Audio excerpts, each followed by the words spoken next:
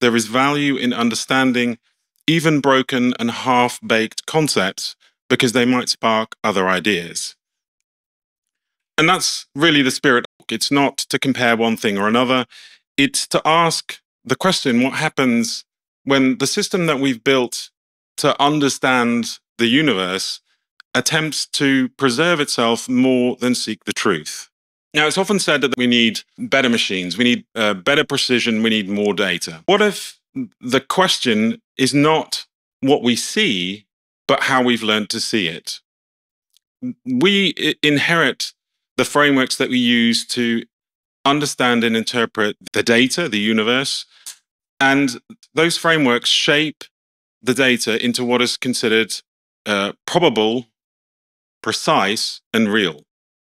But part of the problem is that if we don't examine the lens through which we see the universe, then we risk taking the limit of our vision for the limit of reality.